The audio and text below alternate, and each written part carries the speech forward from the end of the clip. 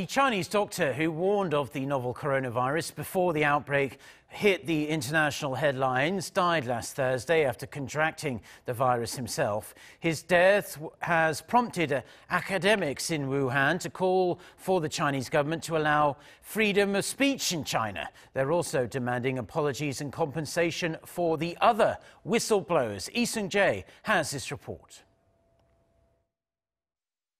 Li Wenliang a local doctor who warned his medical school alumni group about the discovery of a SARS-like illness via a messaging app, was reprimanded by Wuhan police and later forced to sign a letter stating he had made false comments on the internet.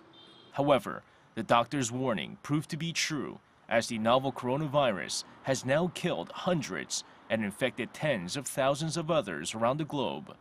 While treating patients in the city, the 34 year old doctor contracted the coronavirus himself and died last Thursday. His death has sparked a debate on freedom of speech in China. Ten Wuhan based professors have signed a letter demanding the Chinese government enforce freedom of speech articles in the Constitution of the People's Republic of China. The professors also call for a sincere apology and for the government to compensate the eight known coronavirus whistleblowers. The letter cites Article 35 and 51 in the Chinese Constitution, which states that Chinese citizens should enjoy freedom of speech, of the press, of assembly, of association, of profession, and of demonstration.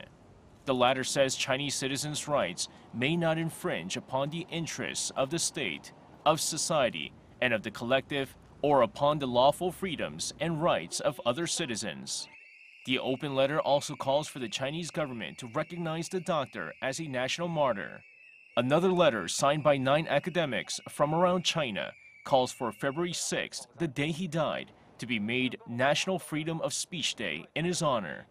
Meanwhile, a Chinese lawyer and citizen journalist known for his video reports from Wuhan has gone missing.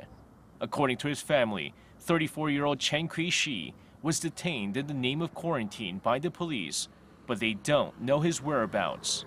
Chen was gaining traction on Chinese social media platforms for his reports on the pro-democracy protests in Hong Kong, and Chinese citizens are discouraged from discussing him online.